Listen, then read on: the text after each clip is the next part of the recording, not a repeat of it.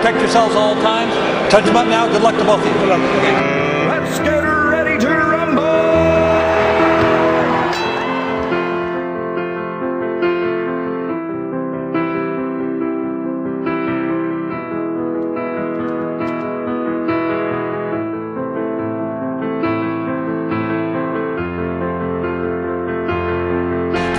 accidental headbutt in the fifth round opened a bad cut over the right eye of Martin. There's the blood as Miguel Cotto has been cut over the left eye.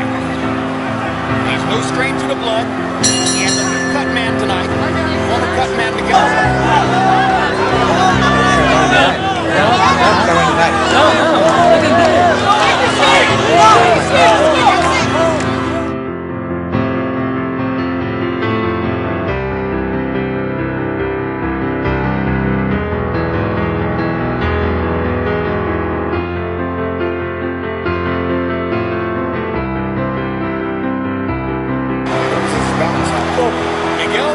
Can't see any right hands coming. And they're really turning his head around. And the uppercuts is running.